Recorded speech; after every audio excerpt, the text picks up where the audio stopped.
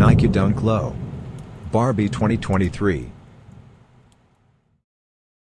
On July 21, the Barbie movie, featuring Margot Robbie as Barbie and Ryan Gosling as Ken, will have its international debut, much to the delight of all Barbie enthusiasts.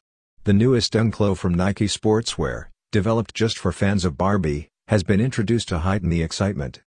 Despite the fact that Nike and Barbie have not yet officially collaborated, the timing is ideal.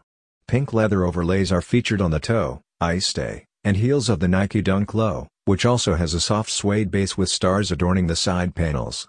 The heels and swooshes of the shoes are a glossy dark brown color, adding a touch of luxury.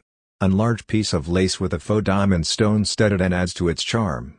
The shoe's overall design is completed by star-sprinkled pink outsoles and sail midsoles, as well as star-patterned tongues.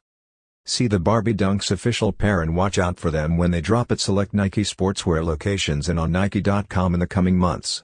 125 US dollars is the suggested retail price.